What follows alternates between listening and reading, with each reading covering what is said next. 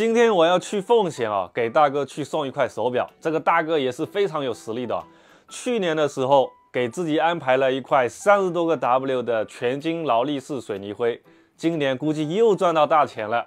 直接安排了一块四十多个 W 的百达翡丽手雷五幺六七 A 啊，没有人能拥有百达翡丽，只不过为下一代保管而已。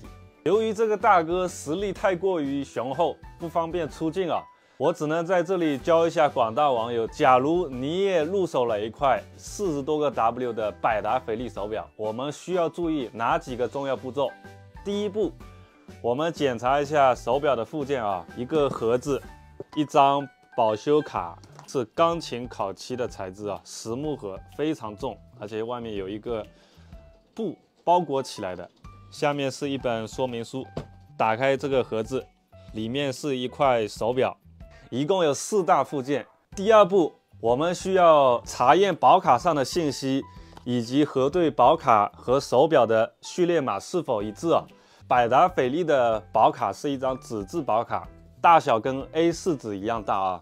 保卡上的内容，上面是它的型号五幺六七 A 杠零零幺，这一行是手表的序列号，第三行是手表的机芯的型号啊。下面这里。是手表的出柜日期，二三年十一月十六号，以及它的出柜地 Singapore。百达翡丽手表的序列号呢，跟其他的手表不太一样，它的序列号是刻在机芯的甲板上，在这个甲板的位置啊，七六五三开头的，然后和保卡上的第二行对起来啊，两码一致就 OK 了。第三步，我们要把这些膜呢取下来，然后检查一下这个外观。这里有个知识点。假如你入手一块未使用的百达翡丽胶带款的手表，那么胶带的顶部这个位置一定是没有剪刀剪过的痕迹的啊。假如外观检查了没有任何问题，那么第四步我们要学会调节时间，因为这一块表是大哥的表啊，所以我们不方便把它取下来，我就用店里的五七幺幺去替代。两款的机芯型号都是一样的，调时间也是一样的，手表的把头。先往下拨，啊，拨到最后它会跳出来的，因为它这个把头的结构啊是旋入式密底把头。然后我们拔开第一个档位，往上拨是调节日历的，我们看到三刻度的日历窗口啊，它会跳。往外再拔一档，往下拨是调节时间的啊，我们可以根据当天的时间去调节，调完切记也是一样，往里往上。给它锁紧啊！第五步哦，我们要试一下这个大小啊。